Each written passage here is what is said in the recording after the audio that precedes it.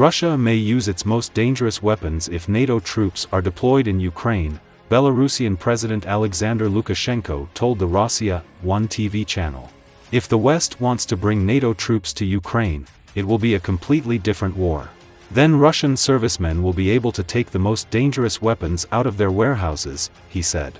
Lukashenko said that Kiev's hoaxes about the North Korean forces fighting on Russia's side could be used as a pretext for an introduction of NATO troops to Ukraine. I don't believe in the participation of North Korean forces in the conflict. Most importantly, that would be a pretext to openly introduce NATO forces at a full scale to Ukraine. Because understands that Volodya Zelensky is exhausted. There are no people to keep fighting. And admitting defeat would be totally unacceptable, he said.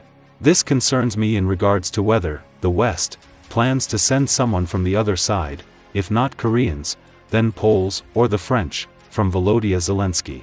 So these conversations should be treated very seriously and should be followed. Lukashenko underscored that mercenaries from NATO countries, financed by governments of NATO member states, have long been fighting in Ukraine.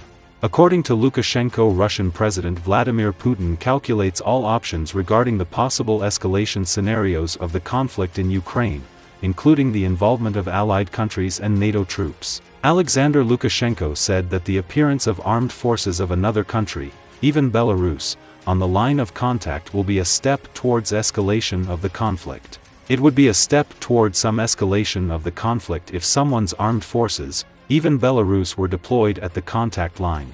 Even if we got involved in the war, it would be a way towards escalation.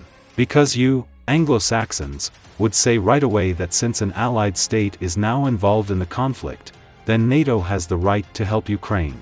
Which means NATO troops would be deployed in Ukraine. Is the variant possible? It is. Putin keeps the option in mind as well.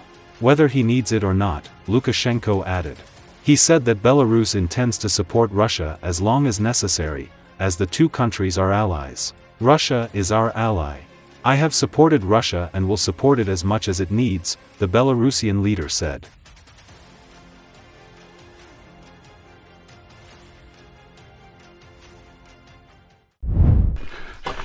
Fighters of the 28th Brigade of the Ukrainian Armed Forces, jointly with fighters of the Foreign Legion, prevented the next attack of the invading Russian army near the city of Toretsk in eastern Donetsk region. The fighters who took a position in the trench were able to repel the attack by targeting the invaders advancing with various small arms and grenades. In addition, drones were used to attack the occupying soldiers in nearby trenches. As a result, Russian soldiers were killed and injured dead and the attack was abandoned.